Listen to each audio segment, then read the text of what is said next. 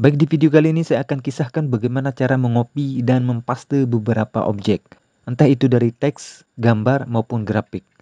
Sehingga kita bisa menyimpan objek tersebut dalam suatu wadah agar mudah dipaste nantinya. Mohon maaf maksudnya ini. Coba teman-teman tekan kombinasi tombol Windows dan tombol X di keyboardnya secara bersamaan. Maka akan otomatis muncul dialog seperti ini, yaitu clipboard. Apa fungsi clipboard? Fungsinya adalah untuk menyimpan sementara hasil kopian yang sudah kita lakukan, entah itu dalam satu objek maupun dalam jumlah yang banyak.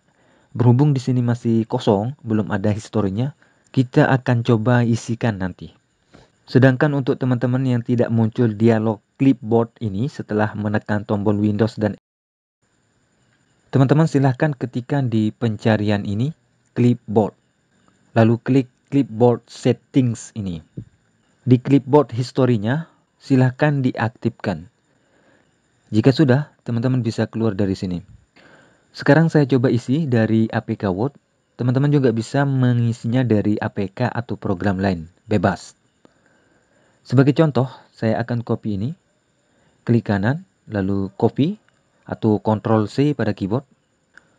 Kemudian ini juga, dan seterusnya.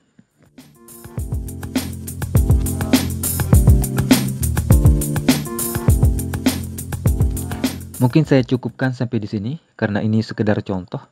Sekarang saya pergi ke fake kosong untuk mempaste teks-teks yang sudah di copy tadi. Oke, kembali tekan tombol Windows dan secara bersamaan. Nah, di sini sudah masuk di history clipboardnya. Teman-teman bisa mengklik mana saja yang ingin dipaste satu persatu.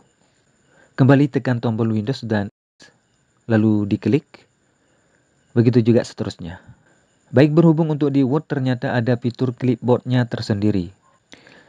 Cara menggunakannya sama seperti tadi, tinggal copy-copy lalu nanti akan dimasukkan di clipboardnya. Seperti ini.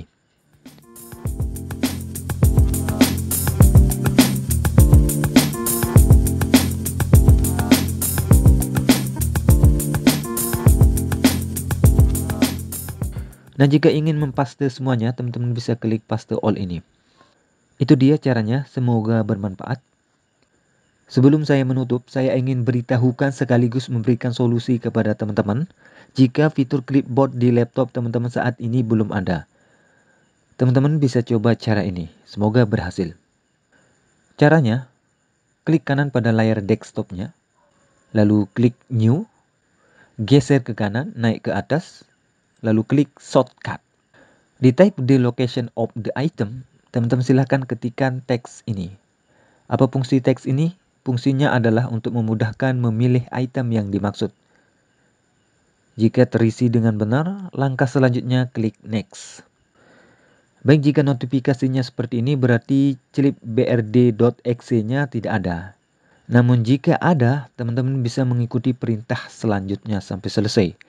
Untuk langkah-langkah berikutnya, bisa ikuti tutorial saya yang di atas ini biar tidak terlalu panjang untuk menjelaskannya. Sekian, terima kasih. Sampai ketemu di sharing selanjutnya.